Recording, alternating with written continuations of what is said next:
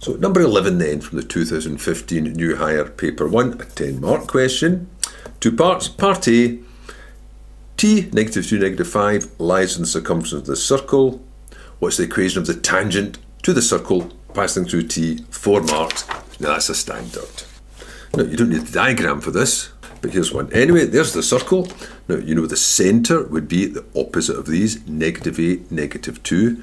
So the centre's at negative 8, negative 2. So this point must be to the right of it, it's only 2 back rather than 8 back, and below it, 5 below compared to 2 below, so it's somewhere down here, which means that if it's in this quarter, it must have an upward gradient, this tangent. And that, of course, is the point negative 2, negative 5. So the question is, what's the equation of this line? Now, you didn't actually need that. You would just start off by saying, well, what's the centre of this circle? The centre is going to be What's been subtracted there? What's been subtracted there? Negative 8, negative 2. So the gradient of the radius will be y2 minus y1, negative 5 take away negative 2 over x2, x1, negative 2 take away negative 8. So that's going to be negative 3 upon 6. So the gradient of the radius will be negative a half.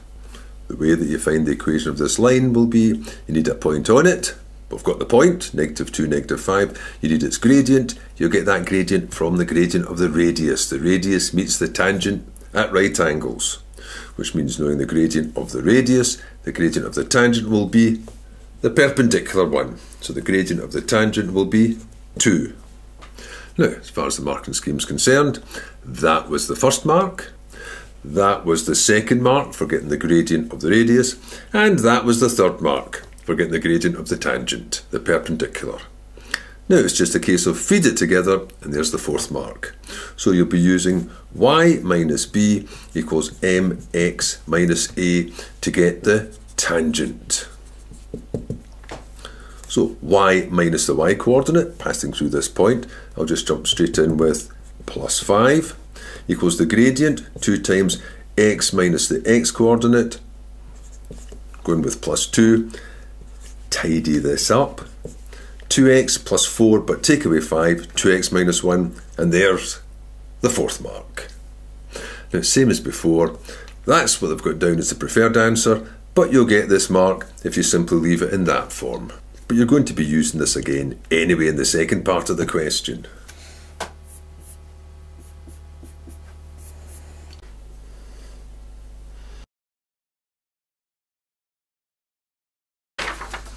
Now, part B. This tangent is also a tangent to the parabola with this equation. If that's the case, and there's another condition here you should notice, p is greater than 3, determine the value of p for 6 marks. Well, there should be the one obvious approach to use to this, but there is another way it can be done. But the standard way would be to say, if that line is a tangent to this parabola, then there should be one point of intersection. So go ahead and find the intersection. I'll call that equation 1, that's equation 2. To find an intersection, you would substitute one in the other. I'll put that one in this one. So that would read 2x minus 1 would equal negative 2x squared plus px plus 1 minus p. Now that will be a quadratic equation that should have just one solution, or rather one pair of equal roots. So first of all, find that quadratic. So bringing it all over to one side, I'd have two lots of x squared. And then you've got a 2x minus a px, a p minus 1 minus another 1 minus 2 equals 0. It is a quadratic, it's only got the three types of terms, x squared, x and constants. But tidy up so you can see the coefficients of those three quite clearly. So it's 2x squared plus 2 minus px plus p minus 2 equals 0. So as far as the marks are concerned, substituting them to find the point of intersection was one mark, and tidying it up into the quadratic was the second mark. Now the next part would be to make a statement. If it's a tangent, that means that the discriminant should equal 0. Now that alone isn't a mark. Knowing to use the discriminant's a mark, but you'd have to identify the parts. So putting that in, b squared would be 2 minus p squared, minus 4 times 2 times p minus 2 should equal 0. Now there's like one and a half marks here so far.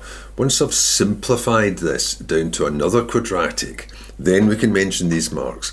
There was one mark for knowing to use a discriminant and identifying A, B and C from these parts here, either implied simply by putting it down, or if you like, by putting them down at the side if you wished.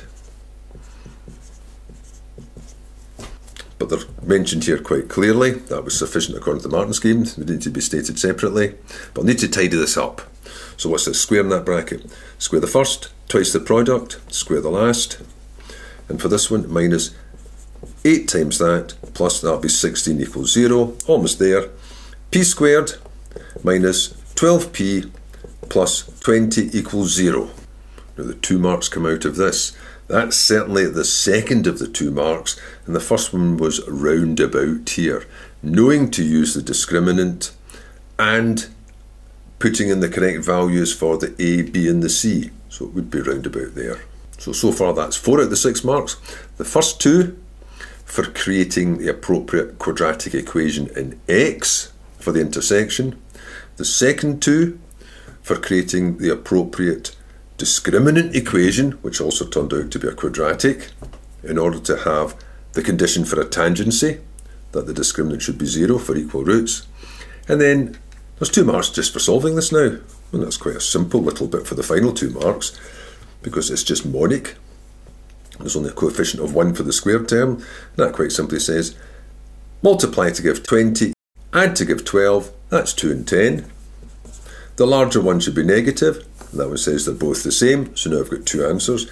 P equals 2, or P equals 10, but there was an initial condition, P had to be greater than 3. So, final answer, P equals 10, reason, P had to be greater than 3. The factorisation was one mark, and the final answer, P is 10, is the final and sixth mark. Well, that would have been the standard way, the obvious way to do it, but there is another way that was mentioned in the marking scheme, and that was this, down as method 2. That's to say, if that line is a tangent to that parabola, notice whatever it looks like, if that line is a tangent to that parabola, whoops, missed it, then at that point, the gradient of the line must be the same as the gradient to the parabola at that point. It's derivative. So you could equate the derivative of this to the gradient of that line. But that's not sufficient because there will be some point in the parabola which has a gradient which is the same as the gradient of a line, but that doesn't guarantee they're the tangent, it just says they're parallel. So you'd further have to say, and the point would have to lie in both of them, so you'd still have to find an intersection because you want to show that the point belongs to them both.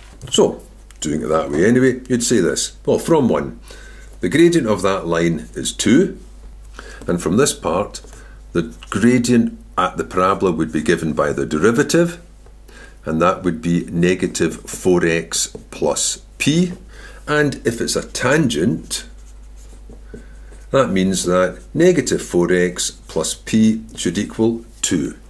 Or rearranging that for p, p would equal 4x plus 2. Now, obviously, that's not an answer for p, because I've not fulfilled all the conditions yet.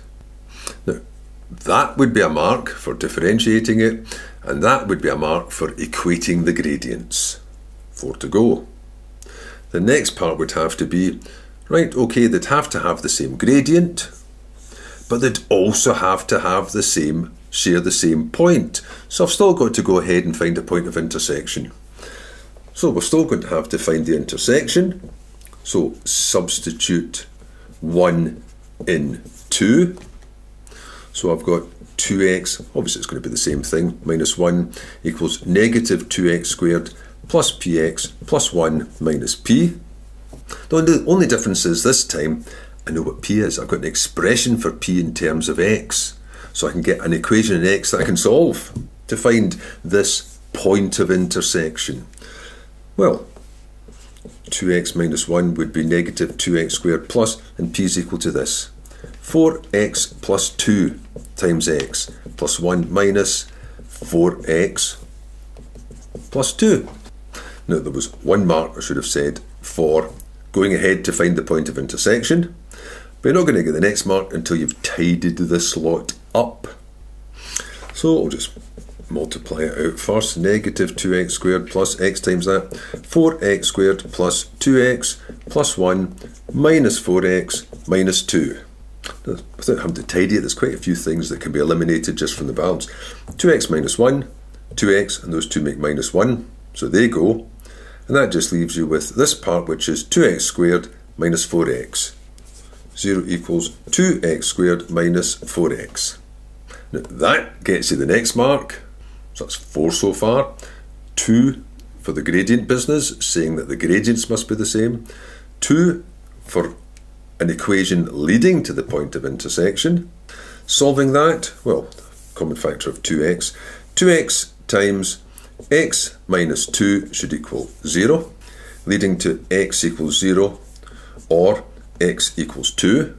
It's getting closer. That was a mark. One to go now for finding p. So now we go back to this. But there's two cases.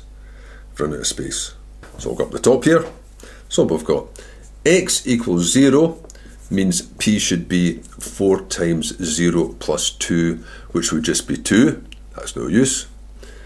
x equals 2 means p should be 4 times 2 plus 2, which equals 10, and that's fine.